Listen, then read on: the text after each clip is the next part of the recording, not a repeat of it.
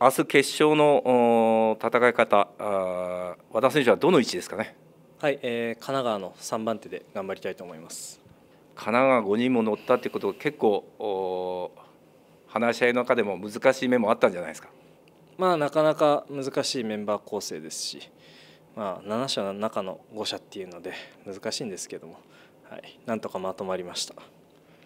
初日も特選3番手からしっかりとものにしてますので決勝大いにチャンスありですよね。まあそうですね。まあでも自分のえー、位置をしっかり守るっていうのを、えー、なんだ そこを、えー、頑張りたいです、えー、今日短期で難しいレースだったんじゃないですか？そうですね。結構あの考えることが多くてあの大変なレースでした。でも2センター最終内に入ってきたあの辺りはさすがでしたね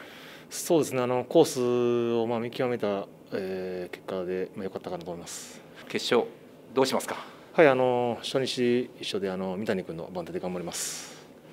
ちょっと相手が強力そうですけど、ね、うんなかなか難しい感じですけど、まあ、精一杯頑張りたいと思います。慣れない番手戦でしたけどどうですかね？そうですねやっぱりちょっと経験も少ないんで難しいですね大変さが分かりました、まあ、決勝戦はどう戦いますかね？はいえっ、ー、と神奈川一番前で頑張ります。まずはこの後ウィナーズダービーに向けてちょっとここで弾みをつけたいところですよね。そうですね、えーとまあ、前回、全日本選抜でも、まあ、いいレースもできてたんで、まあ、今回も調子自体悪くないんで、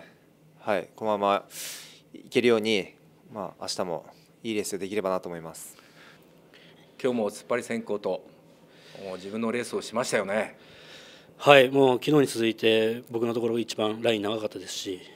えー、もうあの突っ張り先行できる展開来てたのでもうそこは自分の力出し切って走らせてもらいました。ファンの皆さんの声援もすごかったんじゃないですか。はいもう本当にそれが力になって最後まで踏み切ることができたかなというふうに思います。明日の決勝の戦い方はどうしますかね。はい、えー、松井浩平さんの番手で頑張らせてもらいます5社ってなかなかないですし、うんもう各々の仕事をしっかりして、えー、力出し切って頑張りたいなと思います。今日準決勝相手がまあ2段掛けみたいな感じになると予想したんですが、まあ、その通りになっていきましたけどちょっと難しいようなレースだったんじゃないですか。まあそうですね。あの2段掛けになると思ってましたし、まあ、けどそれでもその上無理やり行きたかったですけどちょっと合わされちゃいましたね、はい、あのここダービー前に一層一場所走ったのは良かったんじゃないですかね。まあそうですね。あのバンクの感触もあのしっかり確認できたので良かったと思います。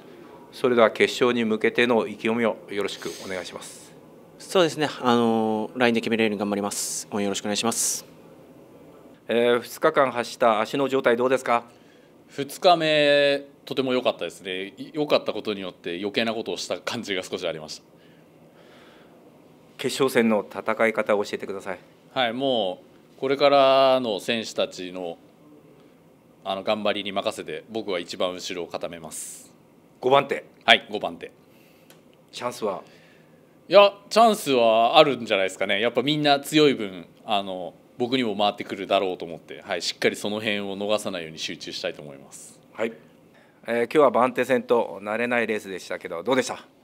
そうですね、まあ、あの着はあの良かったんですけど、まあ、あの先輩をちょっとあの使わせてもらった形で、あのまあ、納得したレースという感じではないですね。明日の決勝戦どう戦いますか、えー、神奈川のあの4番手に行かせてもらいます。この4番手っていうのはもう神奈川みんなで話し合った結果そこっていうことですかね？そうですねはい、えー、それでは決勝に向けての意気込みをよろしくお願いします。はい、えー、明日もしっかりあの自分の役割を果たして全力で頑張ります。応援よろしくお願いします。